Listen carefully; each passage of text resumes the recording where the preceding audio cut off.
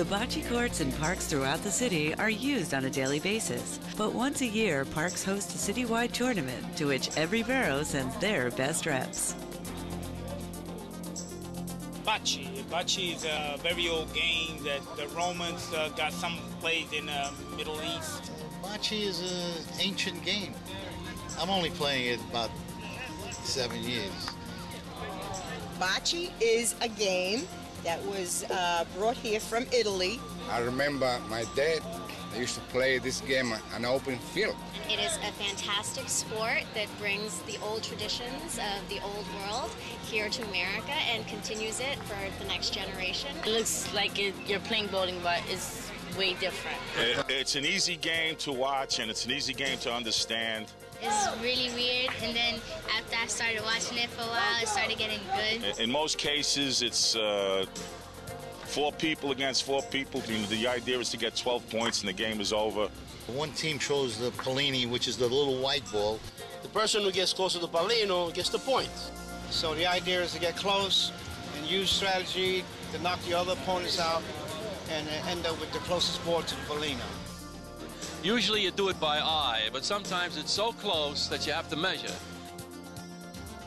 They measure from the white Pallina to the ball that's closest. It has to, it has to be the closest to it. Whereas, you know, sometimes says, oh, no, you know, you think it's my point, your point, remeasure again.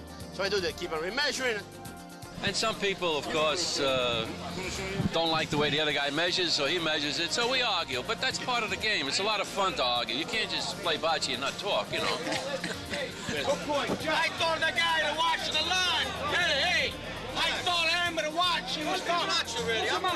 When you play, get these slots. No, no, no. Motion I'm already in my motion. That guy was coming for seven minutes. You gotta be no, no, no. I don't argue. You never see me argue. You never see me argue.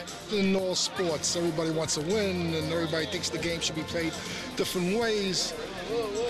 That's the whole thing. That's why there's a lot of arguing and what's close and what's not close, and how to play the game, what you should do and what you can't do. And everybody thinks they know the game better than somebody else. You never see me argue.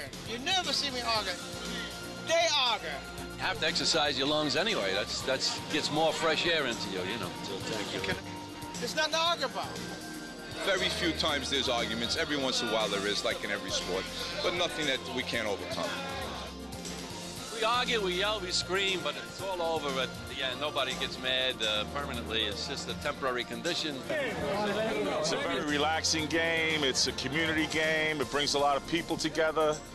Uh, even if you don't understand each other, English, Spanish, whatever it is, everybody sort sort of gets along, you know. It gets habit forming. We play every morning, in the evening. We have night lights on the courts. We have barbecues. We have uh, uh, picnics. It's just neighbors being with neighbors, and it's given me an opportunity to be with people that I can learn things from. People that have been, you know, down the road 10, 15, sometimes 20, 30 years before me. So it's just a, a great camaraderie of men and women.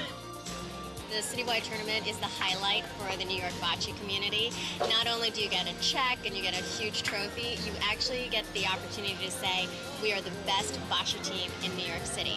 And for them, that is the best prize of all. Hit the green a little. it's gonna go in. It's going right between them. What a ball, Wow. Find a bocce court near you on the park's website and practice up for the annual tournament in September.